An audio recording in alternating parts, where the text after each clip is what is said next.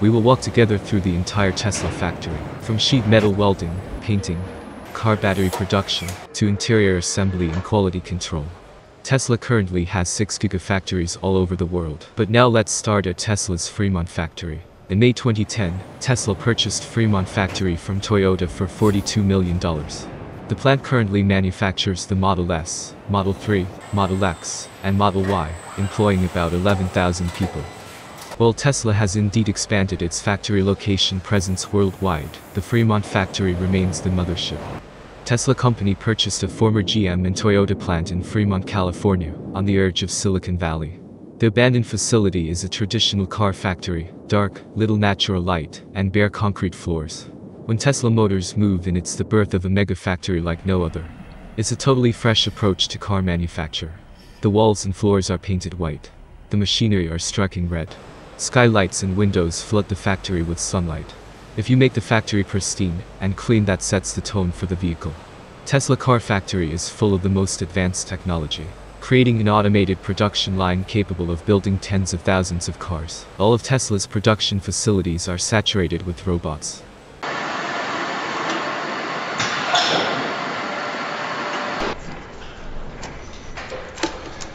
The Tesla master plan was very simple.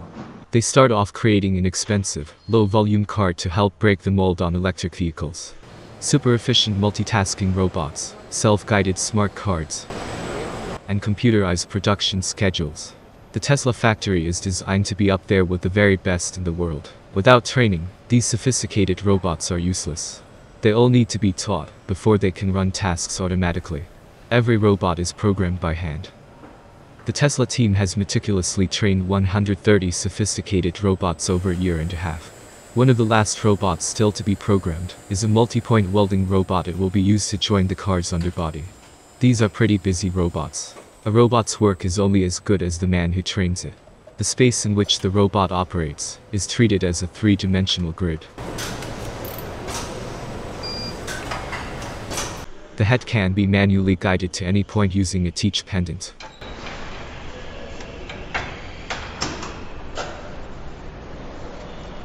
Their start point and well position. Tesla worker now guides the robot millimeter by millimeter and uploads the coordinates. The robot works out the most efficient route and runs the program. The powertrain is incredibly small. You get the same performance out of a motor that's the size of a watermelon. That fits between the rear wheels. And everything else above that is what can be called the opportunity space. The design team started with the motor and flat battery pack and worked upwards. With the motor next to the wheels, there's no need for a drive shaft. So there is no rise under the rear middle seat. There is no fuel tank.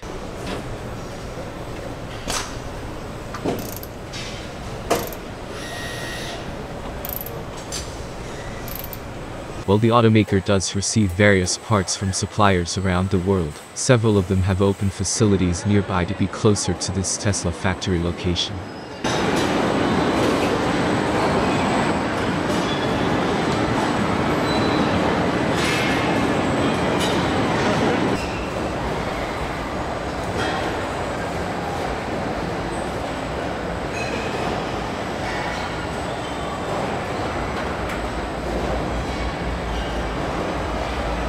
The process begins in stamping. To increase the battery's range, the company have decided to build 97% of the Model S with lightweight aluminium. It's an extremely rare feature in a mass production car, due to the cost.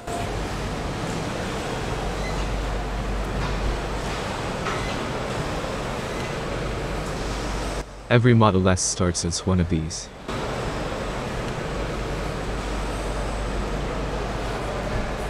The roll is loaded into the mechanical cutting machine. Once cut, the panels are passed to the stamping press. It needs to translate flat pieces of aluminum into 3D forms. And how to do this with aluminum stamping with the level of quality that Tesla expect is really challenging. Tesla buy the largest available stamping press in North America. It's one of the first pieces of equipment they install, over three stories high. It has to be transported from Detroit on 70 trains and then entirely the rebuilt.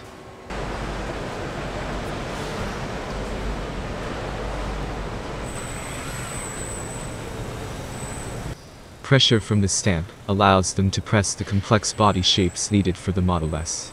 It can be mounted with different heads, known as the dies, that mold the panels into a wide variety of shapes.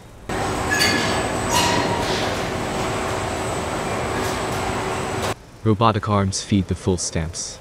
Each stage forces a more detailed 3D shape, producing stacks of floor plates.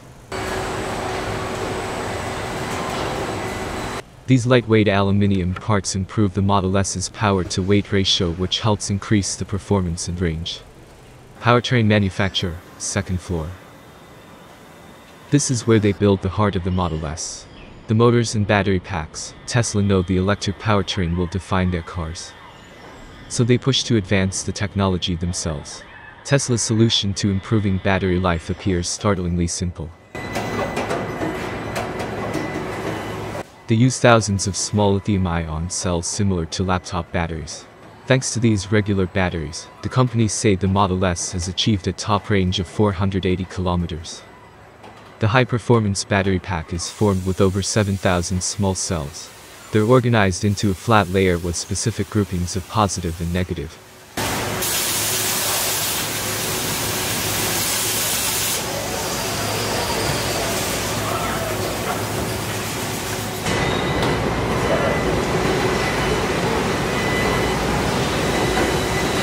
The Model S test production cycle reaches the main assembly area.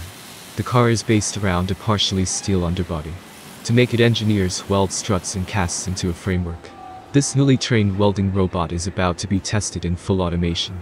They have trained the robots with prototype parts. Now, with final components coming through successfully from stamping, it's automated production for real.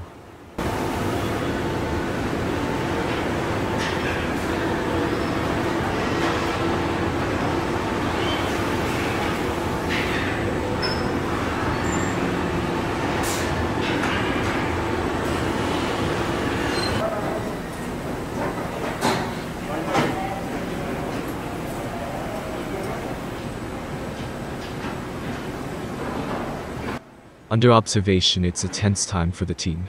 The robots work in a tightly coordinated chain. The second phase hits an issue.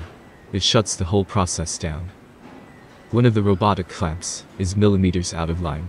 It's a tiny difference, but enough to disrupt the process.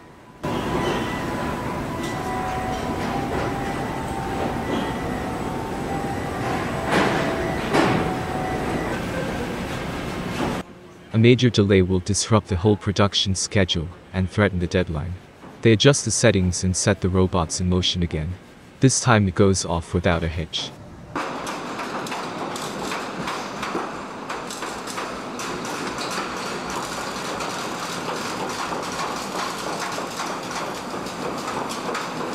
To the team's relief, the process can be approved for mass production. The run through the automated line reaches the Model S exterior. The Model S body is made up of 14 different sections. To speed the workflow Tesla construct each section its separate sub-assemblies.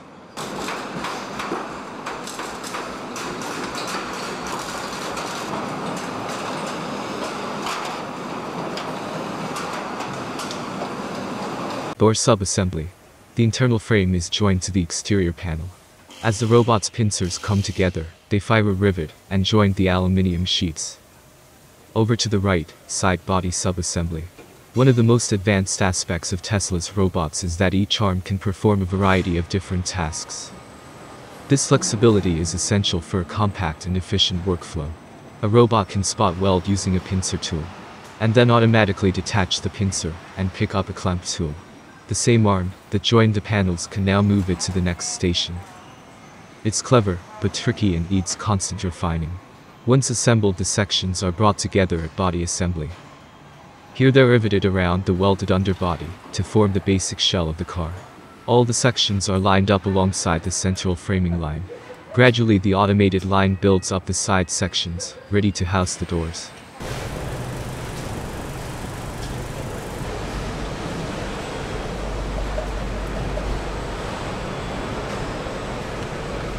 This part is called robots dancing. It is my favorite part of car production.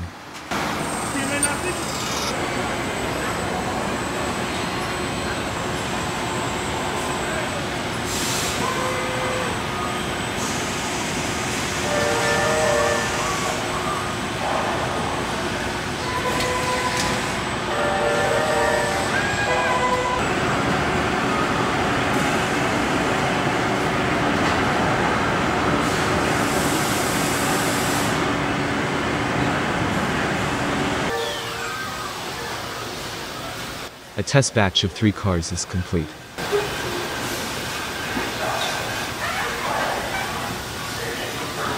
Body assembly has demonstrated it can run successfully in full automation.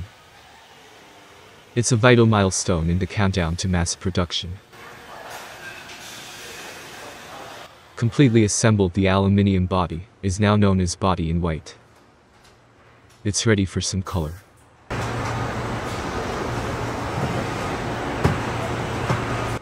The body in white is loaded onto an overhead train that carries it to the paint area.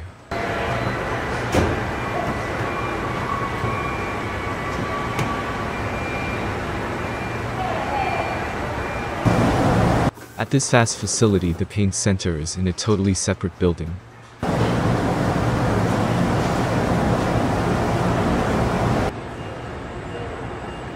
The Fremont site covers nearly 95 football fields of space.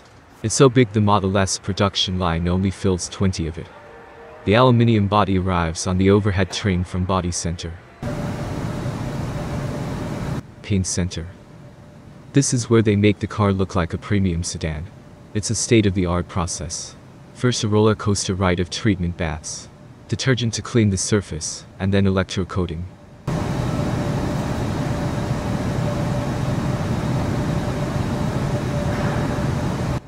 The electrocoat helps attract the paint to the aluminium. The primed car is ready for color. This vehicle will be sprayed with their trademark tint, what Tesla calls signature red.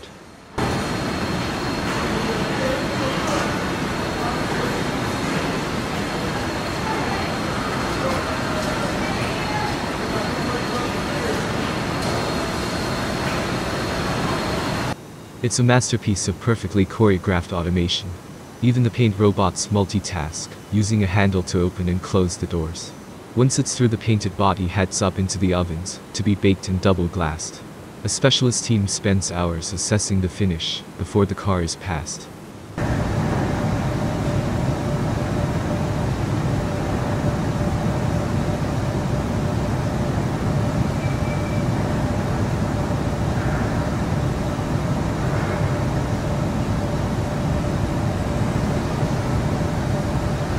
The Model S spends over a day and a half in paint, and that attention to detail carries through to general assembly.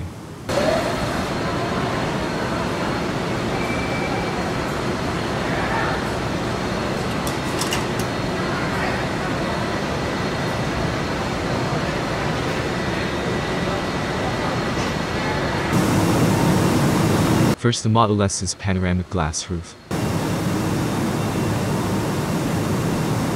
The installation robot takes a picture of the top of the car.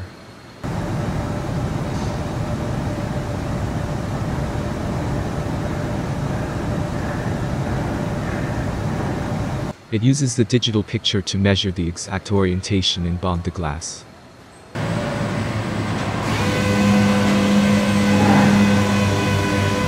Next the interior. The wiring and seats are fitted. The aerodynamic door handles are installed. To get the delicate installation right a wireless system adjusts the torque for each bolt.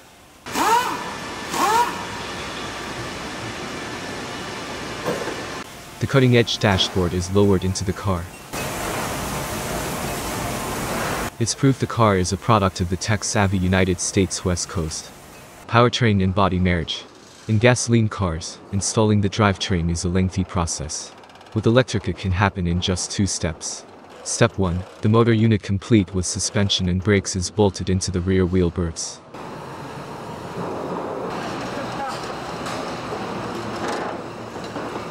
There is no drive shaft or transmission to be attached. In one motion it's fitted. For final assembly the work is mainly manual. Like the robots the line workers' performance is being monitored. With every vehicle they're ramping up to the full production cycle time or takt time.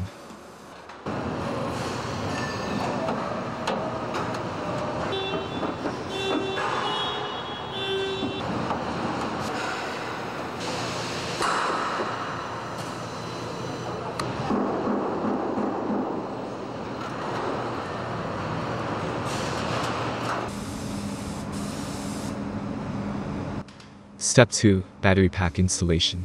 The pack steel case acts as the car chassis. Bolted into place it gives the Model S its rigidity.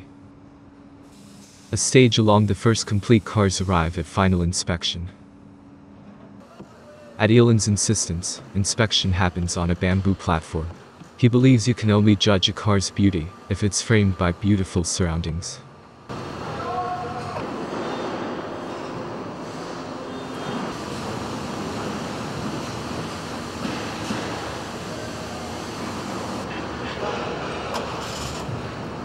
The last check is the test drive. At Tesla the track is very different. Because electric cars produce no exhaust fumes, they can be driven indoors.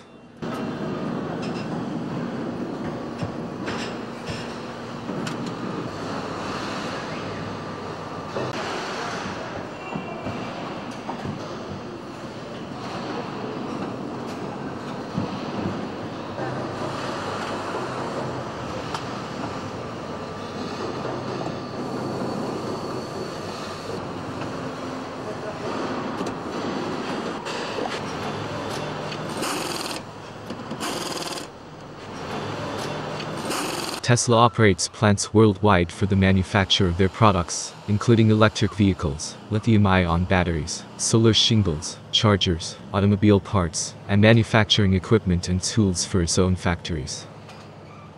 Tesla Gigafactory 4 in Berlin will focus on the Model Y and is still under construction. Tesla Gigafactory 5 in Texas is almost ready.